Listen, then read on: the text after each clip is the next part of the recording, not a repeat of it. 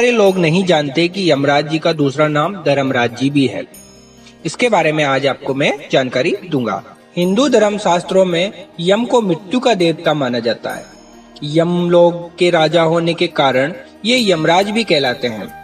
यम सूर्य देव के पुत्र हैं और उनकी माता का नाम संज्ञा है। उनका वाहन भैंसा है और संदेश वाहक पक्षी, कबूतर, उल्लू और कौवा भी माना जाता है। उनका हथियार गदा है। धर्मराज अपने हाथ में कालसूत्र या कालपास रखते हैं, जिससे वह किसी भी जीवित प्राणी के प्राण निकाल सकते हैं।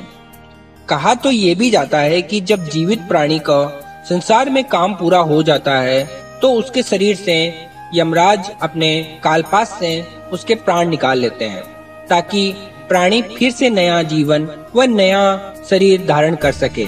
यमपुरी में यमराज की नगरी है, जिसमें दो महाभयानक चार आँखों वाले कुत्ते पहरेदार हैं। यमराज अपने सिंहासन पे बैठकर विचार विमर्श करते हैं।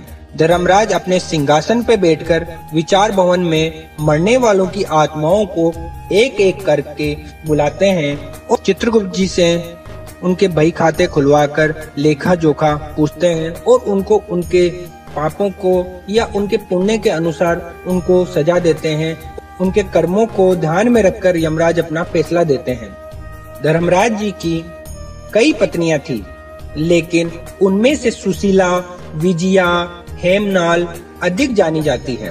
उनके कई पुत्र हैं, उनमें से धर्मराज युधिष्ठर को तो आप सभी जानते हैं न्याय के पक्ष में फैसला देने के कारण ही यमराज और युधिष्ठिर धर्मराज के नाम से भी जाने जाते हैं।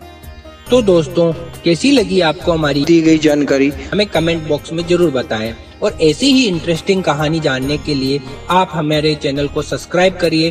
धन्यवाद।